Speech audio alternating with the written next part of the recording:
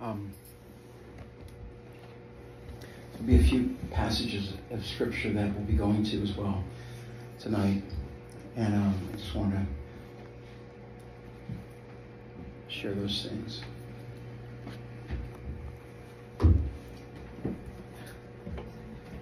Often over over the last few weeks of um, of December, it's um,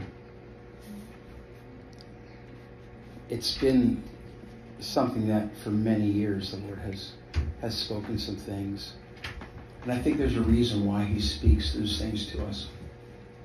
He speaks those things because um, we as humans need encouragement for days to come. Uh, we need to know that we're not taken, uh, things are not just taken for granted that this is just the way it works and this is the way God does things. It's like, no, He actually speaks to us first. And, and so He prepares us. He's a really good God in that regard. And I, I'm grateful for Him for that. And so um, I want to just share a few things that, that He was speaking to me that are, um, I think, important some of the things.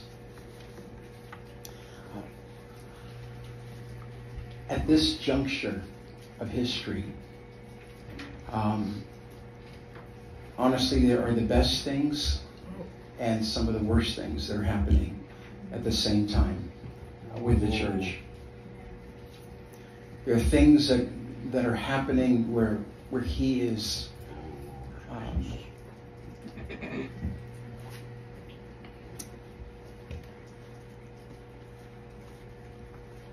He's making it known that the days ahead are days that matter. They're days that are very important to, to, his, to his purposes. Let me turn this off. Um, and that this nothing is unplanned with him. We are at the perfect time in history we've actually been brought to uh, a place in history where um, I believe that the apostles long for. One of the things you have to recognize and realize is that the apostles lived in an era where government was completely it, it was a muck it was a mess it was absolutely the, the most horrible time for Christians. It was um, a time of great difficulty for Christians, many persecuted. Um, my daughter was just, she, she saw something today, and I guess it was since 2015 in Nigeria. We don't hear about this, but uh, I think the number that she said was 50,000 Christians have been killed since yeah. 2015. Uh, we don't hear about that. We don't hear about the, the things that happen in India and Pakistan. Um, um, we don't hear about some of the horrific events that are happening around the world that are very Nero like. And we in America have been, ah, we, we've been kept um, protected, so protected from from this whole issue of persecution. Uh, you know, we get upset when a non-Christian yells at us, and um, uh, that's not persecution. Uh, or you know, or we we think it's persecution because people are taking Christ out of Christmas. Well, if they don't know Jesus, why would they put Christ in? Sinners sin. And sometimes we are, we expect sinners to function as Christians, and um, you have to catch fish before you can clean them. And if you haven't caught them, they're not going to be cleaned. And so there's a lot of stuff that we fight that are useless battles. The apostles never fought them. Jesus never addressed the issues of government. The one issue of government he did focus on is he said, uh, render to Caesar what is Caesar's and to God what's God's. Mm-hmm. And and the, the statement was basically saying what I've said to you for months now. The kingdom of heaven, it will not be driven by Babylonian systems of money, which is what we operate in. Mm-hmm. Whether it's the new or whether it's the Brexit that's now begun, mm-hmm. uh, it doesn't really matter. They're both Babylonian systems. The, the kingdom of God doesn't function that way, never has functioned that way, and will not be functioning that way in the future. And if you aren't used to the fact that you have to learn to trust God and that God will be your source and your provision, you will make every error in the world trying to figure out how you can save money when it may not matter how much money you save. Amen. In Zimbabwe, uh, a few years ago, uh, more than a few years ago now, but this one guy, Mugabe, took over and uh, he pretty quickly turned the economy uh, where you needed a suitcase to go grocery shopping. That's how little the value of their quote unquote dollar was. It was useless. Um, there are places that I grew up, where I grew up in South Africa, when I was growing up, the value of their rand, which is the equivalent of like a dollar, back then, one rand would buy eight dollars. Today, I'm sorry, one um, one dollar would buy um, eight rand. Today, it takes anywhere between 18 and 20 rand to buy one dollar. Yep. The economy's crashed. And we look at those things and we're like, oh God, don't let that happen here. And so we're trying to figure out how we can stop this from happening. Mm-hmm. I'm telling you the the secret, and I revealed this part six months ago. Seek first the kingdom of God and his righteousness and everything else will be added to you. You'll say, well, shouldn't we store? Shouldn't we save? Well, you can. But I'm telling you that those who seek first the kingdom of God, it's not going to be based upon what they've stored or saved. It's going to be based upon the fact that they seek first the kingdom of God and everything else be added to them. And that we don't know what that even looks like. We don't know how to do that. So many haven't learned that. And so as a result, there's this constant struggle against a political monetary, mammon built system to try and make it work for us. And I just want you to know that there's a lot of things that aren't going to work in the days to come. And so there's the worst of stuff and the best of stuff in the world. There are things where there's all kinds of breakthrough scientific stuff that some of it's really creepy. Some of it literally is is hedging on um, very evil wickedness. But people don't realize that uh, this has been going on for centuries. That Hitler was trying to marry, you ready for this? Weapons to demons. Back that far. In a supernatural, he knew there was something demonic and supernatural that he, he wanted to get in touch with. Well, people are doing that today. They're work, trying to work on how can we make something that is demonic as a weapon. Wow. And we look at that and we go, no way. Yeah, way. Those things are happening. They're real. And if your concern is that you have to have everything in peace in the world, well, your next best hope is called the Antichrist. Did you hear me? If you're looking for peace in the world, you're looking for the Antichrist. That's who you're looking for. We're not looking for the Antichrist. We're looking for Jesus. And Jesus comes into people. And Jesus changes people. And just like unsaved people will kill their babies, a person with Jesus in them won't. The issue has never been trying to moderate how we can legislate some kind of righteousness. Listen, everyone is born with a knowing of what is good and evil. If they choose evil long enough, they will become calloused to that fact. And Romans is clear.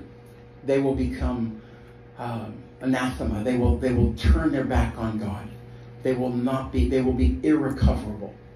Why? Because they're, they've given everything over. But that's the world we're living in right now. In the church, wow. Some of you know some things that have happened just recently. I don't mind mentioning because it's everywhere on the news. It doesn't really matter. But what has happened at IHOP in, Kansas City? And uh, some others of you know what's happened with TD Jakes. And um, there are exposures that are coming at the highest places. Listen to me. The highest places. And right now we are only seeing the tip of the iceberg. Why? Because God will have a pure church. And you might say, man, you use their names. The Apostle Paul used people's names. There are times where you say, Do you see that? Yeah, that's not God.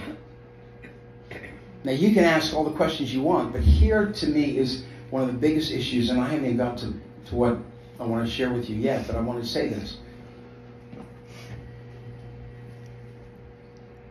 There is this little verse in Exodus where God speaks to Moses and he makes an emphatic statement, 10 statements we know of as the Ten Commandments. And most of us go, well, we're not under law. Yeah, let me explain something. You may not be under law, but I can promise you that all those laws are under his grace. They keep us walking together. They keep us, they keep us civil. Okay? And the first one, the first one is you will have no gods before me. That's the first. And the reality is, is that what we have developed in Christendom have been um, idols. We have put people on pedestals so high that when they fall, we fall with them. Yeah. And I was, there was somebody that posted something that I read, and I was thinking about it. They were so angry. I thought, well, should they really be angry at the person who fell?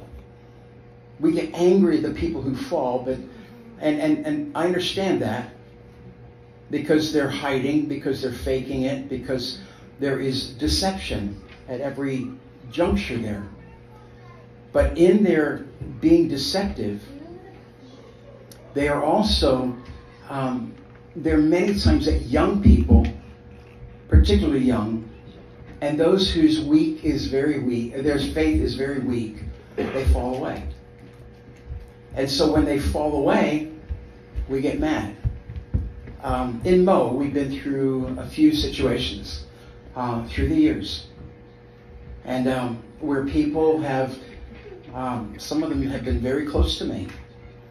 And, um, and as a result, and they failed. They fell. There were things they did that were wrong really wrong. And, um, and it was very deceptive. And you want, you want to become angry. I know that for some people, depending on what the issue was, people got angry, you know, uh, because some of it had to do with supernatural signs and somebody was faking it. And um, it took a while to get them caught. And so when they were caught, you kind of go, so is all this stuff bogus? Does any of it make sense? Is any of it real? And um, and when somebody falls into immorality, you go. They knew Jesus. They were. I was following them. I was following their teaching. I was what, what, and so we we we become angry. But here's what I want to tell you: the real issue is not that we should be angry with them. But we should learn to choose who our God is. And our God are not these heroes. Our God are not these people who have given their lives to the gospel, and they may have fallen, they may have failed. We have taught, literally, we have taught the new school of ministry schools. You need to hear this. We teach them literally things. We talk about Branham. We talk about, um, uh, I, I can go through a whole bunch of them. You can go through Jack Coe, you can go whatever. You can, you, you can go through all these different people who moved in incredible signs and wonders but at the end of their life, at the end of their life, Branham believed he was the Elijah of God. And he would tell people, he would give them words of knowledge, and then he would say, Do you believe that I'm the Elijah of God? And they'd say, Yes. And as a result of that, they would be healed. When he died, his people kept his body for I can't remember how many months, believing he would be raised from the dead. And they they had this sense of worship towards who he was. And we've used that, we've, we've kind of cleaned up their pasts, but we use them as models for the future. We all saw a movie this last year. It was very much part of my, my background. Uh, it was called uh, The Jesus Revolution. How many of you saw The Jesus Revolution? Many of you. Um, but the guy who was in that movie, Lonnie, had serious moral issues. Did he reach people? Yes. But what are we putting up as a model for people to follow? Are we putting up models that when they fall, we judge them, but the fact is, is that we haven't given them any better models and we haven't taught them Jesus should be your model. You are called to be disciples after Jesus. Something amazing happened after Jesus came on the earth. John the Baptist had disciples. When Jesus came on the earth, all of a sudden, none of the other apostles had disciples. Mm. Did you hear me? Mm-hmm. John pointed to Jesus. That was it. But we have this sense I need to be taught like this. I need to be trained here. I need to learn from this person. I need to go from here. And so as a result, we have people that are running to and fro everywhere and they put hope in wrong things. And so when somebody collapses, they collapse with it. Why? Because that was your hope. Your hope was you would become like them, that you'd be able to minister like them, that you would carry an anointing like them, that you might receive their mantle like them.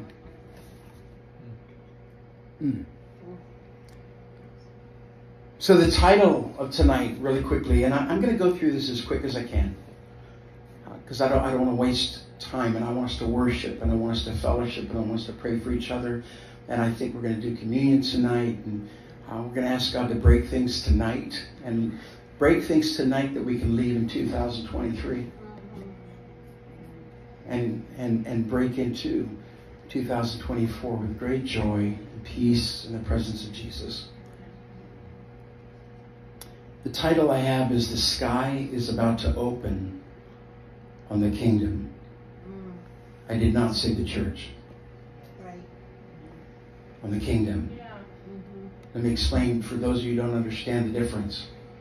For years, people have been talking about, I'm a kingdom person, I'm a kingdom person, really not understanding. They mean by that, oh, we'll work with anybody because we're kingdom people, we don't mind. We're good. The kingdom is actually not a noun, it's a verb.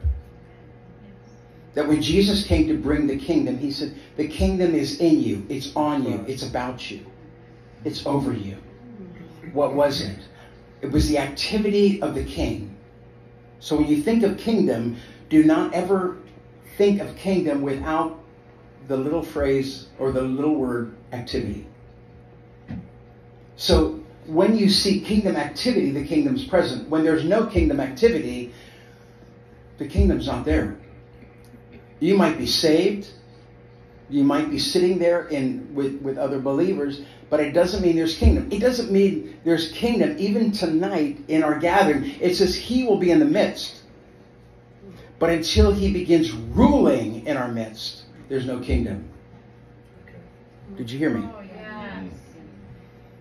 Where two or three are gathered, there am I in the midst. But until I rule in your midst, I'm not, there's no kingdom. Mm. And he taught us to preach the gospel of the kingdom. Why?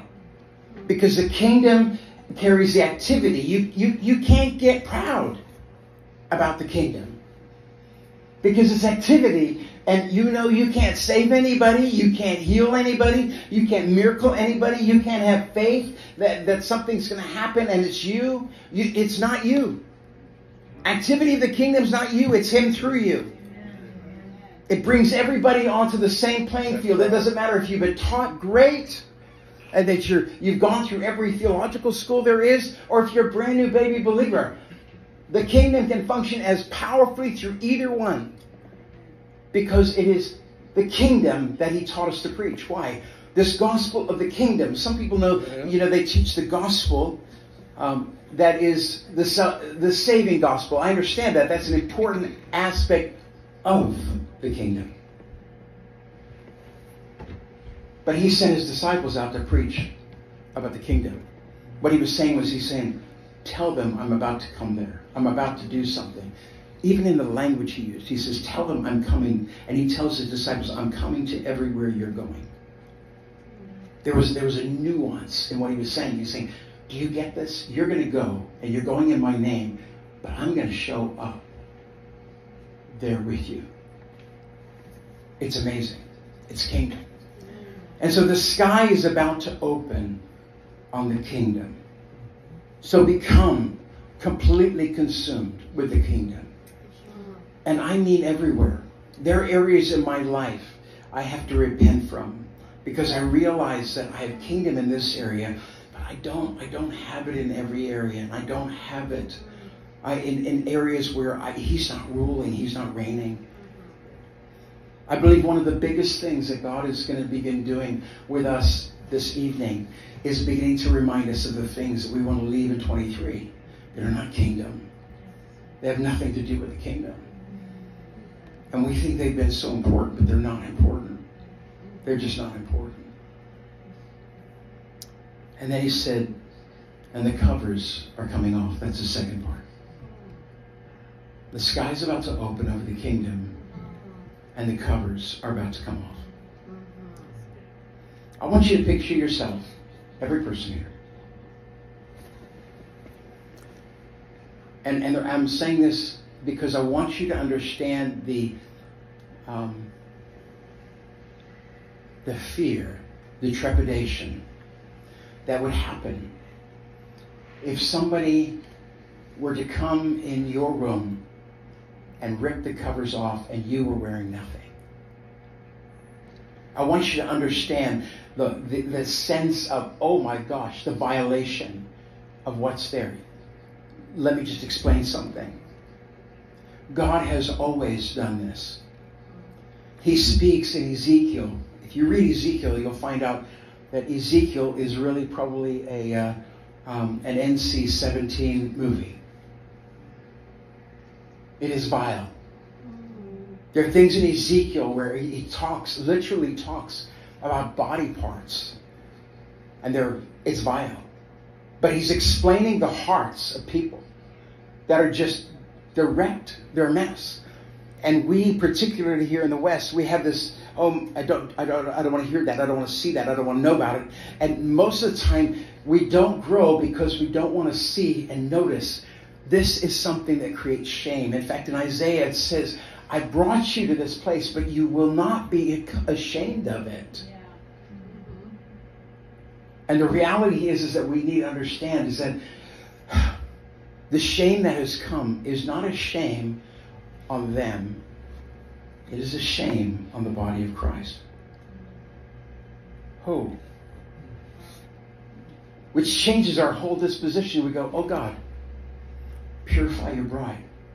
That's where those songs come from. Purify my heart. That's where it comes from. Where the songs that you go, oh God, please wake us up before we mess up. I, I've said to the Lord many times, Lord, if I would ever go in that area and, and, and, and fail you, take me home early. I'm good. I don't want to bring any shame to your name or to your body. I'd rather you take me home, please. Because it, it's such a strong thing against people and uh, against the church. Okay, here we go. I think you'll understand the statement. Headship is being taken over by Jesus, the head of the church. Amen. As soon as you start noticing somebody is who the head, they're the head of this ministry.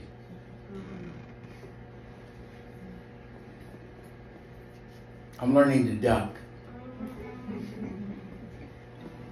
I am. Ephesians chapter 1, verse 3. Praise be to the God and Father of our Lord Jesus Christ, who has blessed us in heavenly realms with every spiritual blessing in Christ. For he chose us in him before the creation of the world to be holy and blameless in his sight. In love, he predestined us to be adopted as sons through Jesus Christ in accordance with his pleasure and will, to the praise of his glorious grace, which he has freely given us in the one he loves. In him we have redemption through his blood, the forgiveness of sins in accordance with the riches of God's grace that he lavished on us with all wisdom and understanding. And he made known to us the mystery of his will according to his good pleasure, which he purposed in Christ to be put into effect. Listen to this part, ready? To be put into effect when the times will have reached their fulfillment. The word there is, anybody know? I've shared with you before.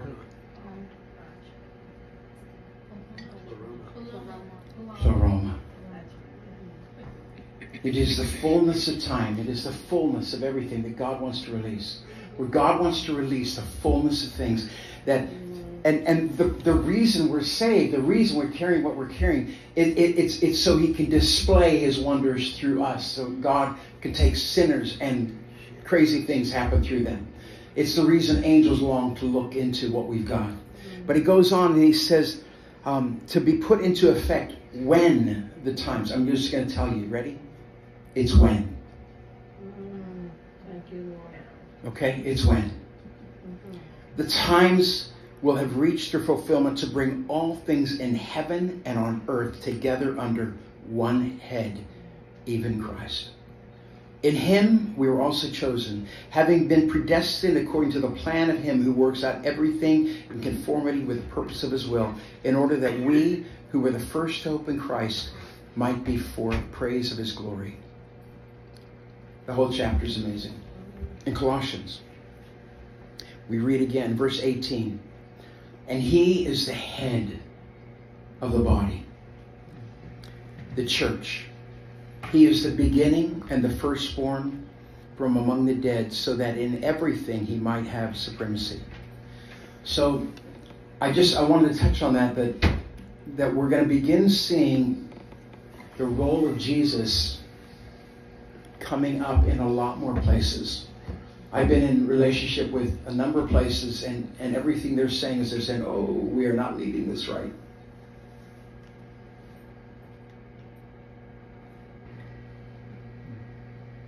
It's good. People saying, oh, we can't lead that way. Mm-hmm. Why? Because it's it puts somebody at the top. Mm-hmm. There's a pastor at the top. We can switch where we put it. We could say, well, that's a senior pastor, or pastor of a big movement, or whatever. Or you could say it's the Pope. It's the person who's at the top. And the uh, the reality is is that what God intended for the church was always where He released apostles, prophets, evangelists, pastors, and teachers to function together to hear what the Lord wanted to say. Not what the pastor wanted to say. Not what the apostle wanted to say. But what the Lord wanted to say. And we're going to begin seeing that emerging in a lot of places who absolutely want his presence. But I will tell you that some will struggle because they're going to, I don't know if anybody heard the word I gave at Breakthrough, but the word had to do with the fact that there are people who want fame. They want name. And that's not going to happen. That what God is going to do is release something that honors Him, where people go and they go, yeah, I, am not exactly even sure who led that thing. Mm-hmm. Jesus was there. Yeah. Jesus was there. Um, I believe that there's only one Lord, not many lords. I believe that we are under shepherds that we take care of the flock for the shepherd, for the shepherd. That we take care of the flock for the head of the church. And by that I don't mean manipulating them. I mean protecting them. You know, that was the primary job of a shepherd protecting them and feeding them. Think of yourself like a, a very poor shepherd, and you'll be okay. Just got to feed people, and you got to protect them. Um, wow.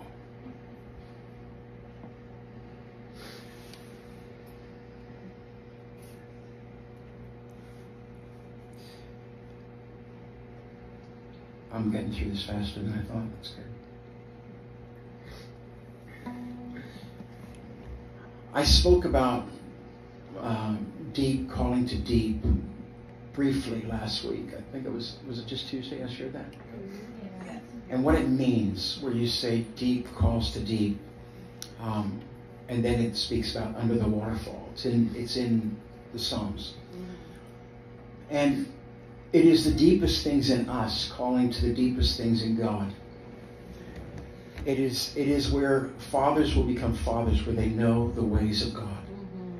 Where they're, they've gone beyond just simply wanting to learn uh, the facts. They don't want to just learn the doctrines. They want to know the ways of God, the purposes of God. Mm-hmm. And the ladder, from the deep to the glory, is only going to happen as people go low. They got to go low. They got to go low, low, low, low, low, low, low. Um, and I want to share a story with you because this is very important. We are the ark generation. You might have heard your Generation Z or X or no generation or what W I don't know which you were double A. Yeah. They said double A and I was like, man, that sounds like a battery. You know? I sure want to be a double A. You know, I'm not a double A. I think the littlest ones are. I think I don't. I don't even know what they all are. It doesn't matter. We're the art generation. You know what the art the art generation has to understand something because it speaks about this where David is bringing the ark in. It's really important. Arks can never, can never be carried by carts. Yes, mm-hmm. right. Do you know what carts are? They're boards and big wheels. Some of you will get that. Yeah. Seeping in. They're brought in through decision makers. It's a card. And it was evil. the reason God struck Uzzah dead, he was angry. His, his, it says his, his fury burned against Uzzah. Because, because Uzzah was caught in the system that was like, we need to help God.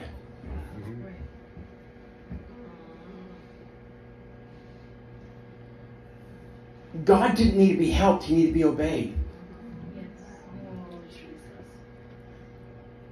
The Philistines got away with sending the ark with a, on a cart. They had no knowledge. But those who have knowledge need to understand. Man, I, do I have effects on my voice or what? Yeah. you could have said that a long time ago, and I would have been okay. Um, there we go. The the effect on people's lives.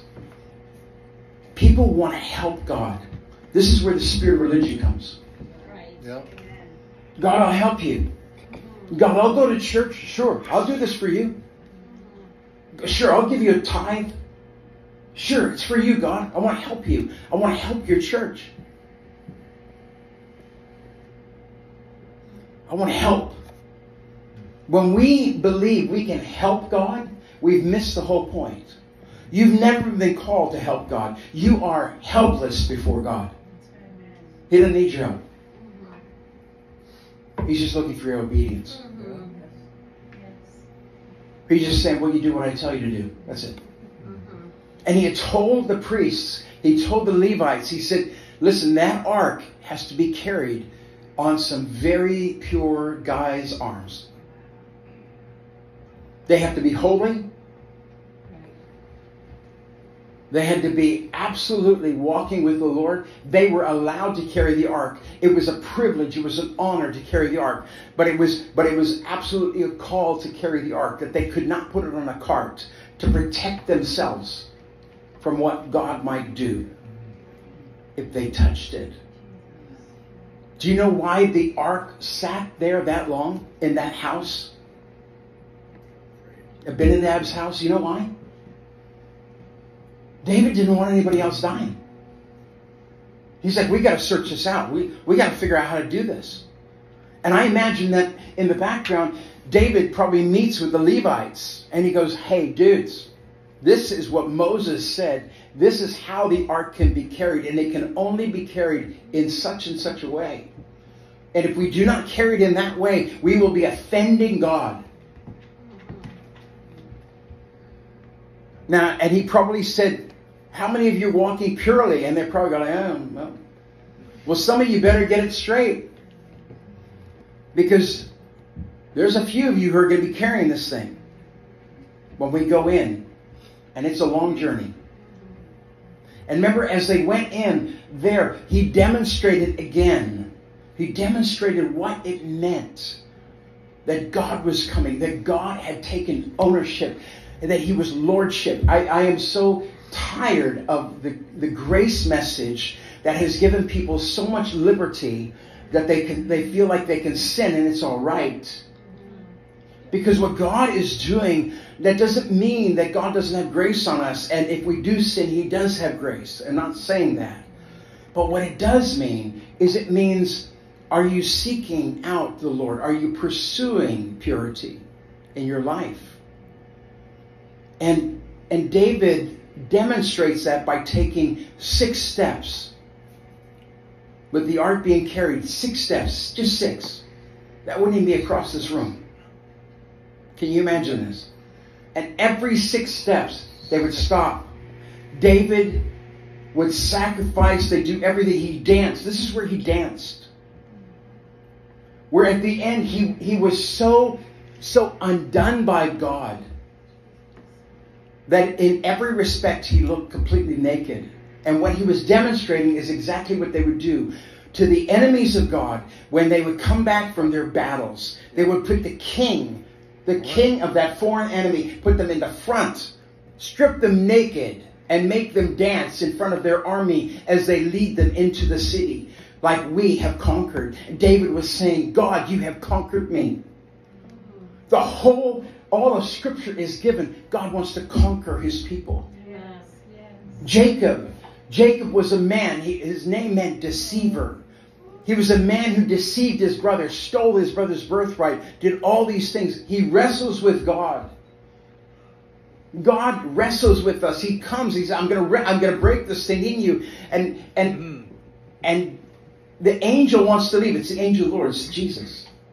It's the pre-incarnate Jesus who's wrestling with them. So let me go. Daybreak's coming. He says, "I will not let you go. I don't care if you hurt me. I will not let you go unless you bless me." There was something he had to have changed in his life. We're going to see a lot of the wrestling of Jacob. We're going to see a lot of the King David dancing, knowing they have been taken over by God. God has taken place, taken taken his rightful place in their life. Jesus is Lord. Jesus is Lord. Do you know the greatest persecution for believers in all of history Jesus is Lord. Renounce it. Jesus is Lord. You can go all the way back in the first century, second century, Polycarp. Very gentle, wise old man. Everybody loved him. One day, the kids decided to tease him and they said, Hey, Polycarp, Caesar is Lord. And he said, No, children, Jesus is Lord. Caesar is Caesar. They said, You have to say that. No children. And eventually there was a whole company of people that, that heard it, and eventually the adults were in it. And they said, You have to say Caesar is Lord. And he said, Jesus is Lord. By the end of the day, they put him up on a stake to burn him, and his body wouldn't burn. Literally around him, there was like a bubble that everyone saw. And he wasn't dying. And they were telling him, just say Caesar's Lord. Jesus is Lord. And eventually a soldier came up and stabbed him, and blood gushed out and put out the fire, killed him. But literally put out the fire. He didn't burn. Jesus is Lord. I want you to know that in your business, in everything you're going to be doing in life, one of the biggest things that's going to have to happen in our lives as believers is Jesus is Lord. Living as Jesus is Lord, letting people know Jesus is Lord. This gospel we believe is not a gospel that's just maintained in churches, in houses. This gospel we believe through obedience, we will share it through the world. Oh, I won't go there. there's so much more I could say there.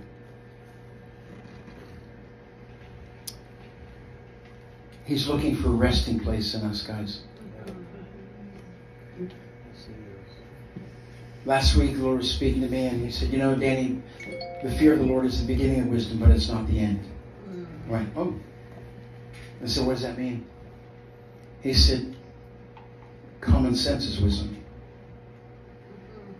And he says, uncommon sense is wisdom too. And he says, grow in your common sense. Don't allow yourself to be put in traps. Don't allow yourself to be put in situations that are compromising. Don't allow yourself to, to be taken. Why? Because many believers are.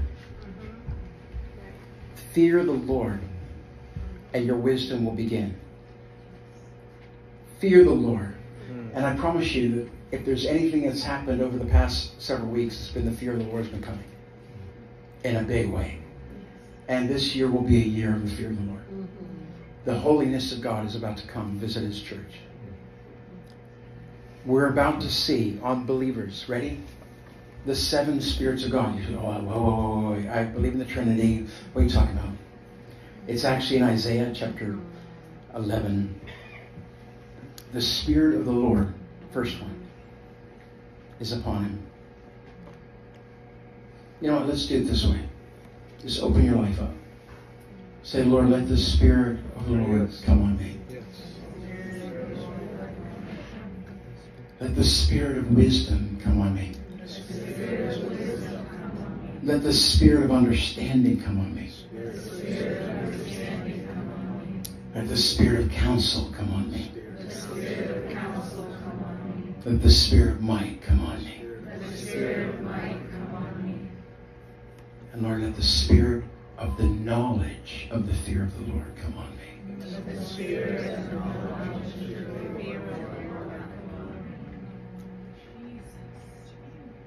Do you know we're not just asking for knowledge?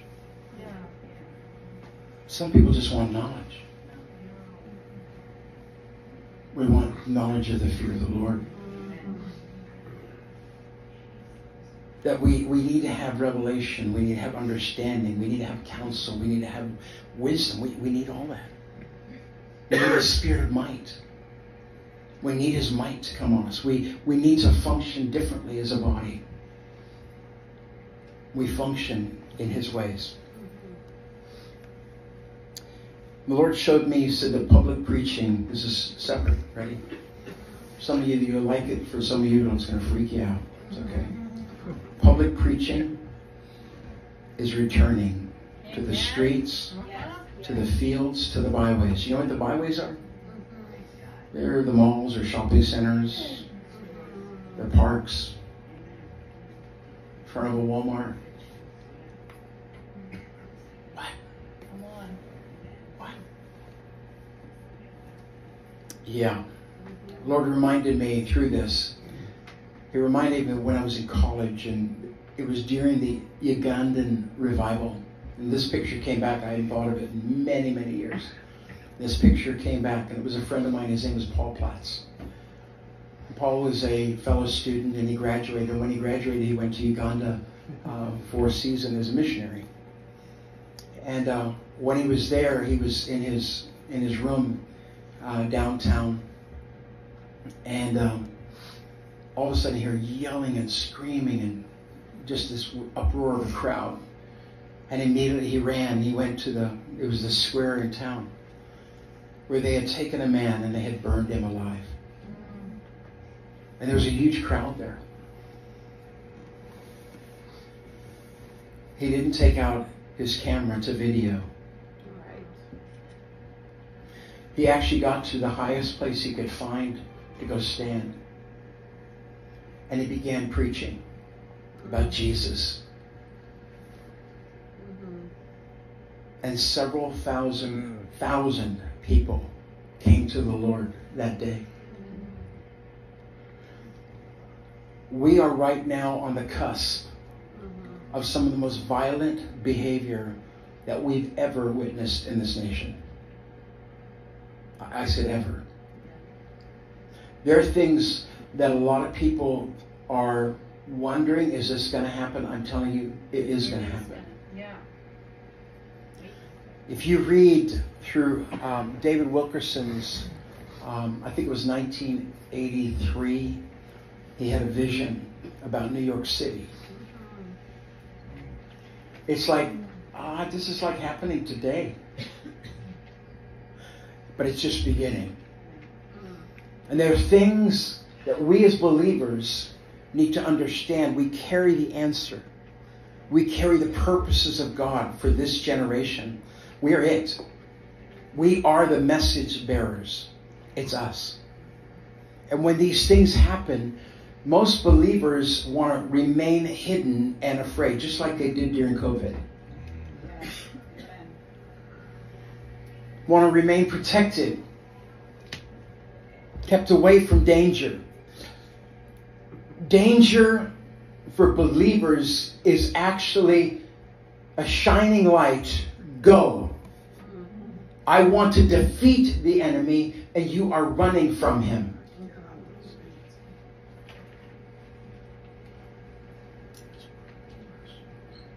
The early church only prayed one prayer for themselves. You know what it was? Boldness. God grant your servants boldness. They recognize, man, this world's an evil, wicked place. We need boldness. We need boldness if we're going to go anywhere and do anything. We got to have the boldness of God. And I remembered that story with Paul Platts, and the Lord says, Danny, get ready to see this happening in this nation. Get ready to see some of these riot places turning into revivals. Where riots become revivals, where, where, the, where the move of God obliterates what the enemy is trying to do. Where people who are most hardened against God turn to God. He said, start believing again for what it is that the gospel of Jesus Christ is the power of God unto salvation. Power. Just the last couple things. Lord turn me also to um, when he was talking about the fear of the Lord, because it's the fear of the Lord that will get you there. Do you understand that? If you fear the Lord, it's like, I'll do anything, God. I'll do anything. I fear your name. And um, I, I know when I work with gangs in California, you know, people are like, how do you do that? I said, I'm obeying God. It's the safest place in the world for me to be. That's where He wants me. And there's something about that that we as believers need to understand. Where God wants you is, is safe. Oh, what, what happens if you're martyred? Well, then you're a martyr. But that's where God wanted you. It's okay. You'll be with Him. Numbers chapter 16, the rebellion that's begun happening. And you'll see it, this is the tip of the iceberg. It's going to be as it was in number 16, which is the sons of Korah. Mm-hmm. And there's a rebellion. And I'm telling you, there will be signs and wonders, and the earth is about to open in ways you can't imagine. Last year I talked about the, the geological shifts that were happening last year. And there were many, many. I spoke about those things. They, there are many huge ones. This year there will be geological openings that are happening in the earth things that, that be like, where did that come from? How deep does it go? And the Lord says, I am, He said, it's a sign. I'm going to swallow up wickedness. I'm going to swallow up darkness in this hour. He said, the enemy thinks he's got us on the run, but he says, we've got the enemy on the run. He knows his days are short, is what Revelation says. Revelation 117 when when Jesus was seen, if you've really seen Jesus, if you've really seen Jesus, if you've really encountered Jesus, when John saw Jesus, he fell down as a dead man. That's a lot of fear. Oh my God, who am I with? And then lastly, Oh, there's a lot more, but I won't go. I want to share. Actually, if Karen is Karen in here? Okay, I want her to share something in just one second.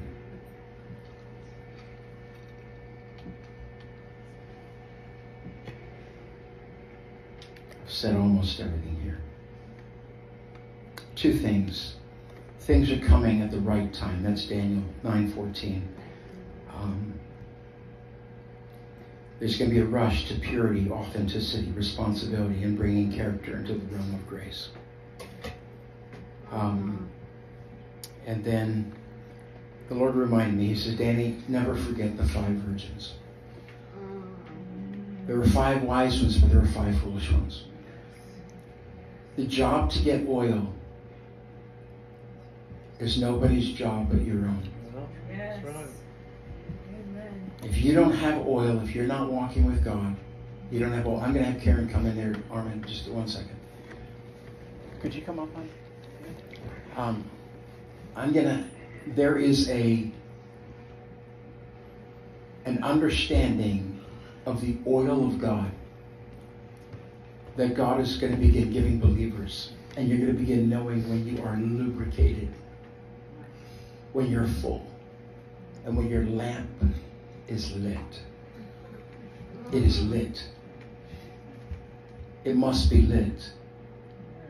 Your lamp must be lit. It's really important that your lamp is lit.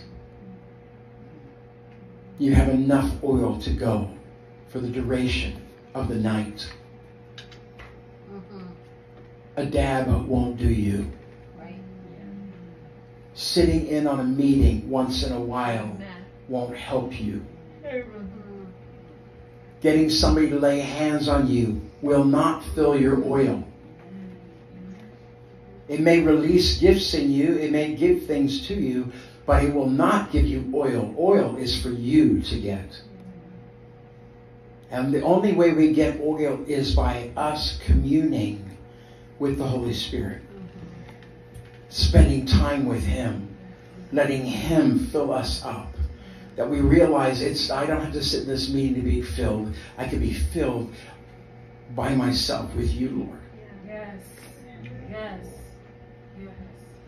Karen had a dream, I guess it was three nights ago now. Is that right? About that?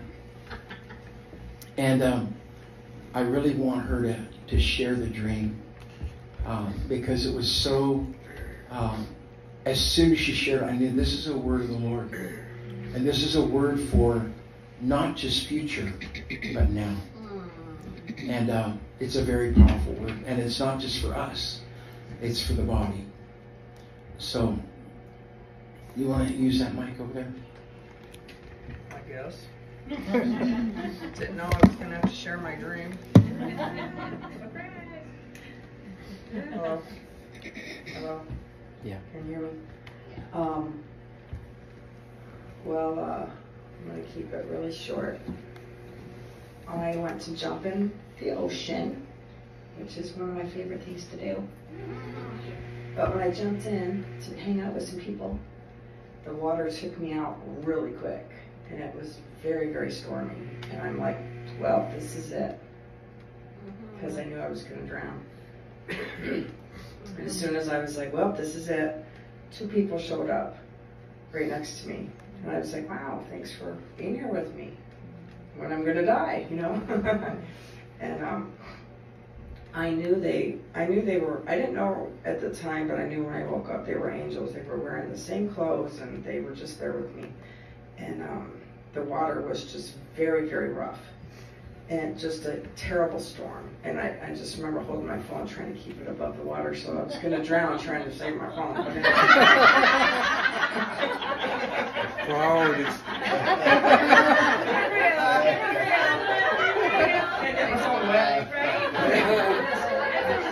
I'm gonna need it out here in the middle of the ocean. Anyway, um, so so I saw these two people. They were right there with me, and I was just like, wow, you know, thanks for being here with me. And um, as soon as I said that, though, this this um, brick wall came right down in front of me, just as wide as me, not much bigger than me, but tall enough where the water stopped. Um, you know, and it was calm. So then I could, I don't just kind of followed me to the shore where I could get out. And I was like, oh, oh, okay, this is not my time. So, So the two were angels. Right. And um, I felt like it was a word for people who were going to be caught in stormy, dangerous situations in the days to come. Do not let fear encompass you.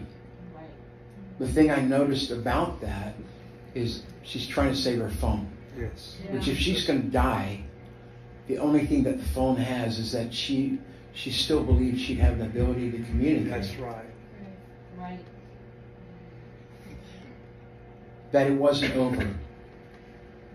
And then the two who came and she says, basically, thanks for coming to die with me or whatever, to be with me. The I, wouldn't, Lord, I wouldn't be alone while I was dying. she wouldn't be alone while she was dying. The Lord is not going to leave us during those times right now. And there will be things in the coming year that various people are going to find themselves in, wow, I don't know how to get out of this storm. It's going to be different things for different people. Some it might be a financial thing, some it may be physical, some it might be family issues, some it could be uh, relationships, um, it could be all kinds of things. But when you're in the storm, remember, say, Lord, I, I, need I need some angels help me die gracefully here, and I really need that wall. I need to be able to get back to shore. And you know the cool thing about God, I mean, it is so amazing. At our worst blunders, at our worst failures, He provides a way back to shore. He always does. He always gives us that way back. He's so good. One last thing. I believe it was in the early 1800s. Hudson Taylor um, had a prophecy. And I'm going to read it because there's some things the Lord did speak to me about China and Russia, incidentally, uh, which was unique. I felt like there were some things that were going to happen between China and Russia, not together. I'll just put that there. Let's leave that there. But Hudson Taylor's prophecy was quite amazing, and I believe we're about to see this. I saw in this vision a great war that encompasses the world. I saw this war recess and then start again, actually being two wars World War One, World War Two. He didn't know that then. After this, I saw much unrest and revolts that will affect many nations. I saw in some places spiritual awakenings in Russia. In Russia. I saw there will come a general, all encompassing national spiritual awakening. So great that there could never be another like it. From Russia, I saw the awakening spread to many European countries. Then I saw an all out awakening followed by the second coming of Christ. That was his vision. What year was that? Oh, just Google Hudson Taylor. I think it's early 1800s. Might have been earlier. Um, there are things that are getting ready to break. And um, some of you have heard me share um, one of Bob Jones Jones's word from 1980. Well, it was, it was actually from yeah 1970 something, but he shared it in in 2004 on it. You can find it on YouTube Mm-hmm. where he's speaking in 1980, 2004. And um, and in that word, he says very clearly, he, he literally prophesied everything that's been happening right now. He prophesied the Ukraine, Russia conflict totally. Um, he said that, um, um, and he also said that there's going to be a massive release that the billion soul youth harvest will begin in Russia. And, um, and that the greatest evangelists the world's ever known are going to come out of Russia. That's why I like the Russians. I'm hanging out with Russians and Ukrainians right now. It's my life. Good people. But um, there's going to be many other things happening. There are things um, I, I, I don't really see uh, the Middle East thing, conflict, just to let you know. People say, what do you think? I don't think it's going to end for a while. And um, as much as there has been an opposition to it, um, I believe that part of that is um, is where there's going to be so many that are going to come against um, Israel and Jewish people, as we're beginning to see already, and it's going to get worse, not better. Um, but but the Scripture tells us to pray for the peace of Jerusalem. So we must not neglect what He says. Amen. I will answer three questions. Oh my gosh, I didn't want to really have any. Go ahead. Go ahead. Can I share what the Lord showed? Oh, you can share. Absolutely. I'd like that. So I'm going to share first what I saw here tonight. Um, two things I saw. I saw the waterfall. Um, it wasn't a waterfall; it was just coming down. There were rocks under it, and the water was coming. And then you talked about deep cries out to deep. It flashed before my eyes again. I was like, "Okay, Lord." The other thing I saw here tonight, and I actually heard the words, I watched the ground open up. It was full of fire, and I heard the sons of Korah. And I was like, Ooh. when you said that, I got shivers all up. I was like, oh my God, that's what I saw tonight. But on Friday, um, we were in New York, and the Lord showed me something there. And you talked about the sky is going to open up on the kingdom. Well, what I saw on Friday was the sky, and it was a layer, an epidermis layer of skin, and I heard membrane. And then he said it's the flesh, and he wanted me to remind the body of Christ that that flesh, there are so many circumstances that are going to arise. And if you don't understand that you are a citizen of heaven, like a son or a daughter of the Most High God, and you start thinking in the natural or in a fleshly way, I'm telling you, it's not going to stand. You have got to know who you are, those seven spirits that Danny talked about. You have got to understand that those can be within you. Those are within you because He's in you. And what's coming, that flesh will separate you from the things of the Spirit. So you have got to, when it rises up, because I'm telling you it's going to, you have got to remember anything contrary to what God has said, this is the other thing. That's flesh, okay? So know the word. If it's contrary, it's flesh. Let it go. It will separate you from the things of Him, and you can't have that in this season. Amen. Amen. Anybody else? Yeah, Lori.